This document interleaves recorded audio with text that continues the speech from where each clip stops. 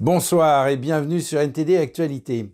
Alors que la réforme des retraites fait grand bruit et qu'une grève nationale soutenue par une majorité de Français se prépare, nous vous proposons le témoignage de quelques travailleurs exerçant le métier d'égoutier, considéré comme l'un des métiers les plus dangereux.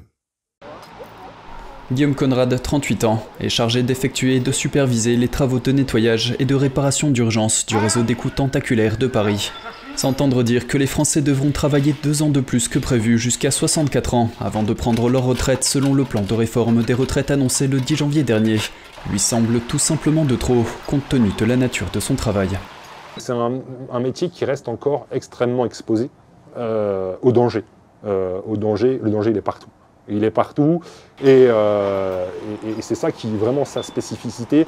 On, regroupe toutes les. S'il devrait avoir des, des comment s'appelle des des enquêtes sur euh, les conditions de travail et on veut voir le pire. Je pense que dans le réseau d'assainissement, on vient et là on a tout.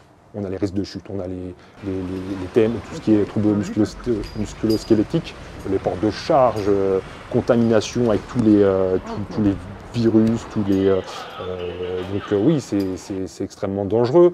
Et ça, c'est la, la, réelle problématique. Je pense qu'on peut se considérer comme un des métiers les plus, les plus dangereux. Malgré la pénibilité du métier, Conrad ne peut se résoudre à une reconversion. Et euh, j'ai pas du tout envie de, quitter ce milieu-là. Mais c'est sûr que euh, pour faire quoi? On a fait ça, euh, je sais pas, 50 ans, on a travaillé dans le réseau d'assainissement. Pour faire quoi? Pour aller dans un bureau? C'est un peu compliqué. Donc c'est sûr que l'avenir est de mauvais, augure. Son collègue Stéphane Rouanou, 53 ans, travaille depuis 25 ans dans l'équipe de réparation d'urgence des égouts de Paris. Il a passé la plus grande partie de sa carrière sans masque de protection, à une époque où les égoutiers étaient bien moins protégés qu'aujourd'hui. Ça va être, euh, ça va être très, très compliqué, très très compliqué à gérer, très compliqué parce qu'encore une fois on a toutes ces contraintes qui sont liées et déjà c'est une problématique euh, déjà de partir euh, tard et là si on nous rajoute deux ans c'est extrêmement dur à, à encaisser. Et je vois pas vraiment comment on va pouvoir faire. On subit vraiment, niveau, de, niveau physique, on subit vraiment. Lui et ses collègues participeront tous aux actions syndicales contre la réforme des retraites ce jeudi. Les travailleurs des transports, les enseignants et les travailleurs du secteur privé devraient se joindre à la grève. La question clé pour le gouvernement et pour les syndicats sera de savoir combien de personnes se joindront à eux. Et dans le cadre de la guerre en Ukraine, la Russie déclare qu'elle prévoit d'apporter des changements majeurs à son armée. Elle va modifier sa structure militaire entre 2023 et 2026. Créer de nouveaux regroupements stratégiques et territoriaux des forces armées, à savoir les districts militaires de Moscou et de Leningrad, ainsi que des forces opérationnelles autonomes sur les territoires des nouvelles entités de la Fédération de Russie. Il y aura des réformes administratives comme la recréation des districts militaires de Moscou et de Leningrad. Le ministère russe de la Défense a déclaré que cela renforcerait les capacités de combat de leurs forces navales, aérospatiales et de missiles stratégiques. Le ministre de la Défense a déclaré que ces changements étaient nécessaires pour protéger les nouvelles entités et les installations critiques de la Fédération de Russie. Le Kremlin a également ajouté que ces changements étaient nécessaires car l'Occident mène une guerre par procuration en Ukraine. L'armée russe a procédé à de nombreux changements de dirigeants au cours des 11 mois qui ont suivi le début de la guerre en Ukraine. Et le PDG de Tesla, Elon Musk, a lancé une série de sarcasmes ce week-end à l'encontre du Forum économique mondial. Pendant ce temps, son président, Klaus Schwab, a déclaré que le sommet s'attacherait à réaffirmer la volonté de ses membres d'adopter un programme progressiste en matière de climat et de justice sociale. Daniel Monaghan de NTD nous raconte l'histoire. Qu'est-ce que cela signifie de maîtriser l'avenir? Le FEM a fait l'objet de beaucoup de mépris et de critiques pour sa campagne publicitaire 2016 qui affirmait, je cite, Bienvenue en 2030, je ne possède rien, je n'ai aucune vie privée et la vie n'a jamais été aussi belle. Nombreux sont ceux qui ont contesté la tentative de l'organisation de présenter l'absence de propriété personnelle et de vie privée comme un élément positif. Fondamentalement, leur vision est qu'ils dirigent tout et que tous les autres sont juste comme un cerf, comme un paysan. Les critiques ont également souligné le manque de transparence du FEM et sa poussée de l'agenda environnemental, social et de gouvernance ou ESG. Bien qu'il ait fondé une entreprise de véhicules électriques, Musk n'est pas un fan de l'ESG. Musk a tweeté que le S de ESG est synonyme de satanique. Il a également qualifié le mouvement de maléfique en novembre dernier. Le PDG de Twitter a ensuite pris à la légère une vidéo présentant un discours du fondateur du FEM, Klaus Schwab. La crise du Covid-19 serait considérée à cet égard comme une petite perturbation par rapport à une cyberattaque majeure. Schwab a été critiqué pour son livre Covid-19, la grande réinitialisation, qui préconisait que les gouvernements du monde entier utilisent la pandémie comme une opportunité pour, je cite, réimaginer le capitalisme. Schwab a donné le coup d'envoi de la réunion annuelle du FEM à Davos, en Suisse, cette semaine. Nous ne pouvions pas nous réunir à un moment plus difficile. L'ordre du jour de cette année comprend de doubler la vitesse de transition vers les énergies renouvelables et la poussée des normes ESG. Alors que les gens commencent à ressentir les effets de l'agenda ESG, les ambitions mondiales du FEM rencontrent une résistance croissante. Son effort concerté contre les combustibles fossiles a entraîné des pénuries et des hausses de prix. Le gouverneur de la Floride, Ron DeSantis, a réagi à l'agenda ESG et à la pression exercée par le FEM pour s'en prendre aux entreprises énergétiques. Et c'est vraiment en train d'affaiblir la société occidentale, les valeurs occidentales. Mais ce qui sous-tend tout cela, c'est le PCC. Les autres points de l'ordre du jour du FEM comprennent les emplois verts et l'équité de la diversité et l'inclusion. Voici Sadia Saidi, directrice générale du FEM sur CNBC. Il est très clair que le climat ne fait que continuer à s'aggraver et que cela ne changera pas vraiment d'ici dix ans. Dans le même ordre d'idées, la présidente de la Commission européenne, Ursula von der Leyen, a discuté à Davos d'une législation verte qui soutiendrait l'industrie sur la voie de l'élimination nette des émissions de CO2 d'ici 2050. Daniel Monaghan, NTD Actualité. Et une nouvelle qui plaira sûrement aux dirigeants du sommet de Davos, la population chinoise a diminué pour la première fois depuis les années 60, ce qui fait craindre que le pays ne vieillisse avant d'avoir pu s'enrichir. La Chine a enregistré le taux de natalité le plus bas jamais enregistré et le taux de mortalité le plus élevé depuis près de 50 ans. Mais certains Chinois disent qu'ils hésitent à avoir plus d'enfants en raison du coût élevé de l'éducation dans les villes. La population de la Chine a diminué l'an dernier pour la première fois en six décennies. Ce tournant historique devrait marquer le début d'une longue période de déclin du nombre de la population chinoise, avec de profondes répercussions sur son économie. Le Bureau national des statistiques de la Chine a déclaré que la population du pays a diminué l'année dernière d'environ 850 000 personnes. Le pays a enregistré le taux de natalité le plus bas jamais enregistré et le taux de mortalité le plus élevé depuis près de 50 ans. Le ralentissement démographique est en grande partie le résultat de la politique de l'enfant unique que la Chine a imposée entre 1880 et 2015. Les autorités chinoises affirment qu'il a permis d'éviter environ 400 millions de naissances. Cet habitant de Pékin exprime sa réticence à avoir des enfants prochainement. Je vais certainement avoir un enfant à l'avenir. Ce n'est qu'une question de temps. Quand j'aurai les moyens financiers, je voudrais avoir un enfant afin de pouvoir lui offrir une bonne vie.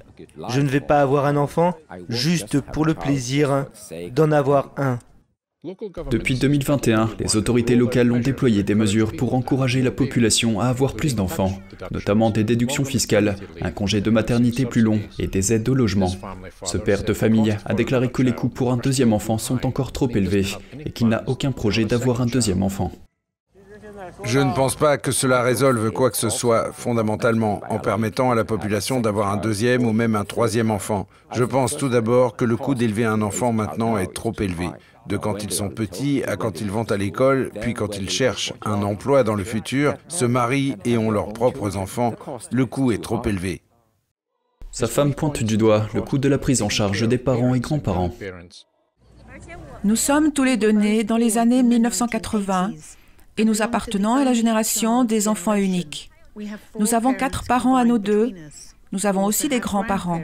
Nous devons nous occuper d'au moins quatre personnes âgées. La dernière fois que la Chine a connu un déclin démographique, c'était pendant le grand bond en avant. Le désastreux mouvement d'agriculture collective et d'industrialisation lancé par Mao Zedong à la fin des années 1950 a provoqué une famine massive qui a tué des dizaines de millions de personnes. Les experts de l'ONU prévoient que la population chinoise diminuera de 109 millions de personnes d'ici à 2050, soit plus du triple de la baisse prévue précédemment. Certains démographes prédisent désormais que la Chine vieillira avant de s'enrichir. La crise économique qui s'annonce en Chine sera pire que celle du Japon, où des années de faible croissance ont été attribuées en partie à la diminution de la population. Et toujours au sujet de la Chine, le diplomate chinois à la tête de la politique dite du loup guerrier est mis sur la touche. Cela montre-t-il un adoucissement de la diplomatie de Pékin? Et un ministre des Affaires étrangères chinois clôture sa visite en Afrique par un arrêt au Caire, vantant les relations sino-égyptiennes, et ce alors que Janet Yellen, la secrétaire au Trésor américain, prépare son propre voyage en Afrique. Un reportage signé Tiffany Meyer de NTD.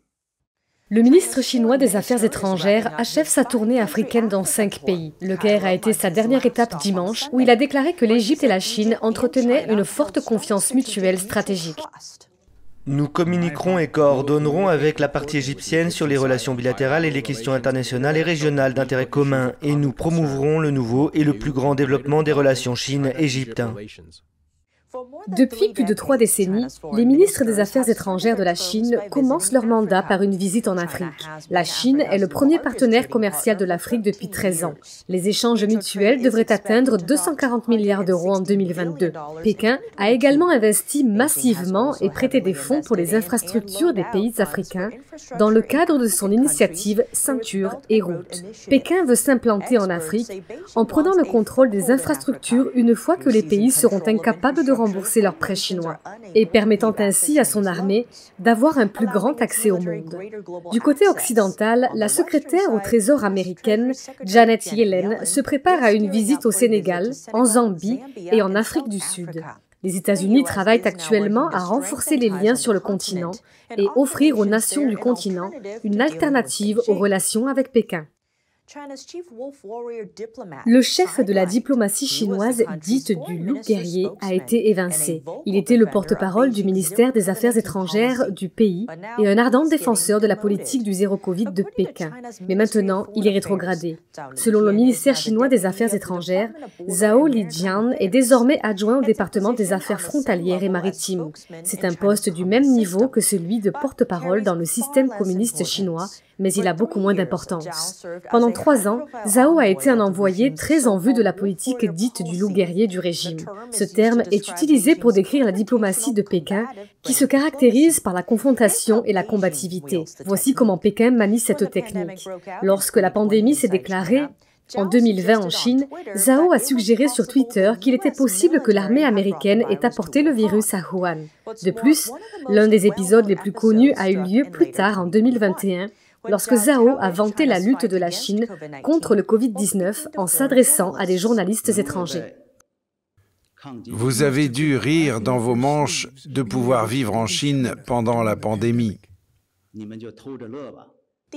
L'expression désigne le fait qu'une personne soit satisfaite de sa situation, mais qu'elle garde sa fierté pour elle-même à ce sujet. Certains estiment que l'éviction de Zhao de son poste de chef du ministère est le signe d'un assouplissement de la politique du guerrier loup de Pékin, surtout après les manifestations massives du mois dernier contre le confinement. Un historien basé en Australie a commenté Pour les gens comme Zhao, le PCC les utilise quand ils sont utiles et les jette comme des chaussures usées quand ils ne le sont pas.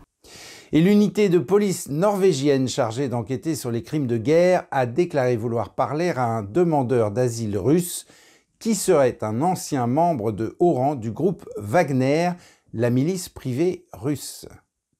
Andrei Medvedev, un ancien commandant du groupe mercenaire russe Wagner qui a combattu en Ukraine, a déclaré qu'il s'était enfui en Norvège et demandé l'asile, craignant pour sa vie, après avoir été témoin du meurtre et des mauvais traitements infligés aux prisonniers russes amenés sur la ligne de front. La police norvégienne a déclaré qu'un citoyen étranger avait été arrêté la semaine dernière après avoir franchi illégalement la frontière russe-norvégienne dans l'Arctique et qu'il demandait l'asile. Son avocat norvégien a déclaré que Medvedev se trouvait désormais dans la région d'Oslo, mais n'a pas donné de détails. Brynjul Frisne, qui a refusé de dire où Medvedev combattait en Ukraine, a déclaré que Medvedev lui avait dit que son évasion était dramatique. Il était poursuivi et ils ont tous deux tiré des coups de feu et des chiens ont été envoyés à sa poursuite. La façon dont il raconte l'histoire, c'est comme un thriller d'espionnage où vous vous échappez tout juste à la dernière minute. Il a vu de la lumière dans une maison de l'autre côté et y a couru et une femme en est sortie. Kripos, le service national de police criminelle norvégien qui enquête sur les crimes de guerre, a déclaré mardi souhaiter interroger Medvedev. Medvedev a rejoint l'armée russe et a fait de la prison avant de rejoindre Wagner pour un contrat de 4 mois. Il a déclaré au groupe de défense des droits Gulagnet qu'il était devenu mécontent après que son contrat ait été prolongé à plusieurs reprises par le groupe sans son consentement. Il a dit qu'il s'était éloigné de Wagner après avoir été témoin du meurtre de déserteurs capturés. Je connais avec certitude trois cas où des prisonniers qui ont essayé de s'enfuir des hôpitaux après avoir été blessés ont été abattus. De même, dix personnes ont été abattues sur le terrain d'entraînement devant des prisonniers qui venaient d'arriver. C'était un moyen de dissuasion. Ce sont des traîtres, ils refusent de se battre. Regardez ce qui leur arrive. Le fondateur de Wagner, Yevgeny Prigozhin, un proche allié du président russe Vladimir Poutine, a déclaré que Medvedev avait maltraité les prisonniers. Il n'a pas abordé les allégations de meurtre ou de mauvais traitement des prisonniers. Et pour terminer, rendons-nous dans la ville la plus froide de la planète où les températures ont encore chuté de manière inhabituelle. Voyons comment les habitants de cette ville de Sibérie font face à un thermomètre avoisinant les moins 60 degrés. Des rues gelées, un air brumeux, des branches d'arbres pliées par la neige. Il s'agit de Yakoutsk, une ville sibérienne connue pour être la plus froide du monde. Je pense qu'il fait au moins moins 58 degrés maintenant. Il faisait moins 56 hier et il faisait un peu plus chaud. Je le pense en tout cas. La température ici a dégringolé le week-end dernier, au milieu d'une vague de froid inhabituellement longue. Les habitants ont dû s'emmitoufler pour sortir. On ne peut pas lutter contre le gel. Soit vous vous adaptez et vous vous habillez en conséquence, soit vous souffrez et vous vous déplacez en voiture. C'est assez simple en fait. J'ai deux moufles, deux écharpes, des chaussures chaudes sont indispensables. Et vous devez couvrir votre tête. Tout cela est très important. Cette ville minière est située sur le permafrost à plus de 3000 km à l'est de Moscou.